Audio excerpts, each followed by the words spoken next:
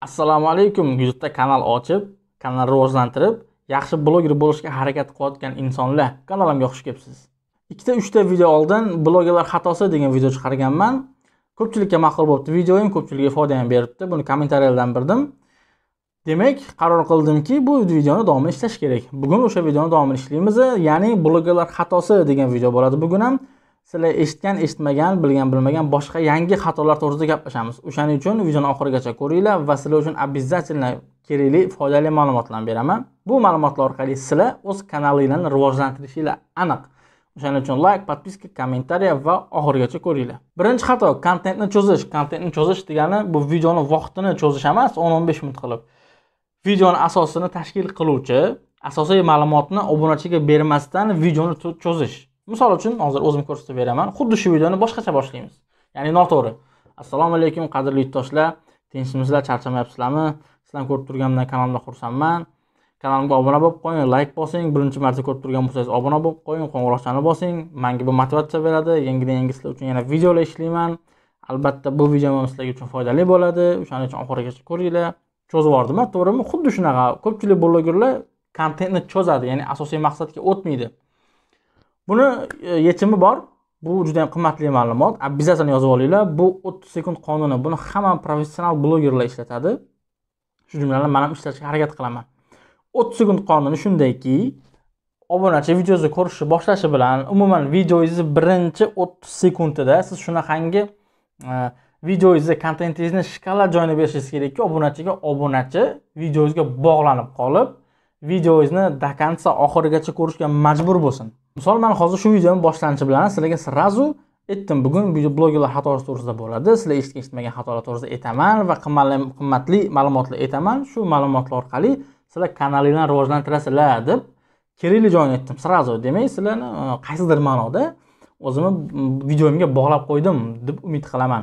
O'zim fishkalarimni ochib tashlayapman hazil hamma bloger ishlatadi bu narsani. O'shaning uchun sizlar ham agar ishlatmasanglar o'ttiz sekund qolgan обязательно ishlatinglar. Juda yam zo'r effekt beradi. Sizni удержаниялар zo'r bo'ladi. Obunachilar chiqib ketmaydi videolardan. Boyagidaqa qilib cho'zib o'tirsanglar o'ttiz sekund ichida kontentni bermasdan obunachi zerikib boshqa videoga o'tib ketadi. Ikkinchi xato noto'g'ri musiqa. Nomidan ham ma'lum musiqani videoga mos tushmasligi. Videolarda ko'rdim bittasi ovqat pishiryapti yoki parkda aylanib yuribdi lekin qanaqadir vahimali qo'shiqni qo'yadi. Musiqani noto'g'ri tanlaydi. Hali namanganda maxluq deganda video qo'sh e, videoga ishlagan musiqalar bor vahimali qo'rqinchli. O'shani qo'yib qo'yishadi shu oddiy videoga. Bu noto'g'ri narsa. Tushmaydi videoga e, musiqa tushmaydi. Bu ikkinchi xato edi. Uchinchi xato noto'g'ri nom. Analiz qilayotgan paytimda bitta kanalga kirib qoldim. Qarasam kulinariyaga bog'liq nom qo'yilgan. Aniq esimda yo'q. E, вкусно готовыйmidi yoki быстро готовыйmidi qisqasi kulinariyaga bog'liq kirdim o'yladim qanaqa ovqatlar ovqatlar qilinadigan qaysi kuxnyani ovqati pishar ekan deb kirsam ibratli hikoya klip bir tomonda э, taqinchoq haqida keyin shavkat mirziyoyev gapiryapti то есть har xil videolar. Sekin chiqib keta qoldim. Boshqalar ham xuddi shunaqa chiqib ketadi. Yana bitta misol salomatlik to'g'risidagi bitta kanalga kirib qoldim. U ham xuddi shunaqa salomatlik to'g'risida nomi esimda yo'q.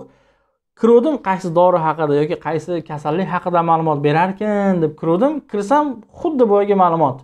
Aralash quralash klip juma muborak e, prikollar shavkat mirziyoyev shuhrat musayev hammasi bor. Endi tasavvur qilinglar sizlar ko'chaga chiqdinglar qorninglar och qarasanglar bitta joyda kafe deb yozib qo'ygan. Kirasiz tabiiyki kirasiz u kafeda ovqatlanib olib как kirasiz qornim och deysiz kirsangiz ichkarida kafe emas kiyim kechak do'koni bo'lsa. Qanaqa reaksiya bildirasiz? Qanaqa reaksiya bildirishinglarni kommentariyada yozib qoldiringlar. Bu misolni nimaga aytdim? Hozirgi xuddi shunaqa blogerlar noto'g'ri nom qo'yishadi. Bitta nomni qo'yishadida o'shanga соответствующий video qo'yishmaydi. Boyagi aytganimdek kulinariyaga kulinariyaga bog'liqmi nom? Demak u yerda kulinariya ovqat pishirish to'g'risida kontent bo'lishi kerak. Obunachi bunaqa joyga kirgandan keyin qaytib kelmaydi. E, И dizlayk ham bosib gapini gapirib negativni to'kib chiqib ketadi sizlardan to'rtinchi xato ijtimoiy tarmoqlardan foydalanmaslik. O'rtoqlar har bittamizda man aniq bilaman har har bittamizda instagram telegram facebook odnoklassniki yana nima bor? Whatsapp telegram imo hamma bor hammasida bor mana shu ijtimoiy tarmoqlar. Mana shu ijtimoiy tarmoqlar orqali videolarni tarqatinglar.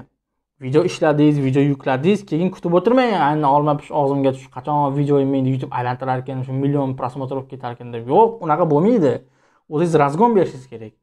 Misol uchun man video ishlaganimdan keyin сразу tarqatishni boshlayman. Birinchi o'rinda facebookka tarqataman e, twitterga tarqataman e, keyin instagram telegram одноклассники vkontakte whatsapp hammasiga hamma tanishlarimga jo'nataman. Istoriyalarimga qo'yaman post yozaman rasmlarini qo'yaman rasm misol uchun instagramga rasmini qo'yib tagiga o'sha videomga ссылкani berib qo'yaman. Har bitta e, ijtimoiy tarmoqlarda profilinglar bo'lishi shart. Ras bloger bo'lmoqchimisizlar profilinglar bo'lishi kerak. E, И hammasini tarqatinglar. Manda trafik asosan mana shu ijtimoiy tarmoqlardan keladi. Birinchi o'rinda youtubedan keladi keyin telegram whatsapp instagram одноклассники analitikam tekshirib chiqdim. Shulardan manga просмотр kelyapti. Xuddi shunaqasini ham tarqatinglar. Ko'p blogerlar mana shu imkoniyatdan foydalanishmaydi nimagadir. Videoni chiqardi bo'ldi o'tiradi keyin. Keyin bir biriga kirib yozadi iltimos manga kirib videomni ko'rib bergin. Yo'q birinchidan kanalinglarni reklama qilinglar youtube orqali.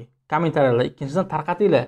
Kanal nomini boya uchinchi xatoni aytgandim kanal nomini noto'g'ri qo'yishni nima deydi to'xtatishni yo'li. Eng zo'ri o'zinglarni ism familiya qo'yib qo'yinglar. Birinchidan o'zinglarni brendga aylantirasizlar ikkinchidan xohlagan yo'nalishda ijod qilishingiz mumkin. Hech kim sizga ta'na toshini otmaydi. Nimaga san noming kanalni nomi bunaqayu bunaqa yo'nalishda ijod qilyapsan deb o'zingiz ism familiyangizni qo'ying xohlagan yo'nalishda ijod qiling. Xohlagan payti sekin sekin boshqa tematikalarga ham o'ting. Misol uchun man ham sekin sekin boshqa tematikalarga o'taman endi. Faqat butun umr youtube haqida gapirmayman. Gapirib bo'lib o'rganib bo'lib sekin boshqa tematikalarga o'taman. Videoim foydali bo'ldi degan umiddaman. Ishonchim komil foydali bo'lganiga обязательно layk подписка kommentariy esdan chiqib qolmasin. Va keyingi videomni ham o'tkazormanglar keyingi videoyim mashinniklar to'g'risida bo'ladi. Hozir mashinniklar turi ko'p har xil mana rossiyada bo'lsa sberbankda yoki e, ijtimoiy tarmoqlarda whatsapp imolarda chiqishda hozir bular одноклассникida qanaqa qilib ularni qanaqa qilib sizni zamonli qilishadi qanaqa plyus yechib olishadi hammasi to'g'risida keyingi videomda gaplashamiz. Hammaga omad. Assalomu alaykum va rahmatullohi va barakatuh.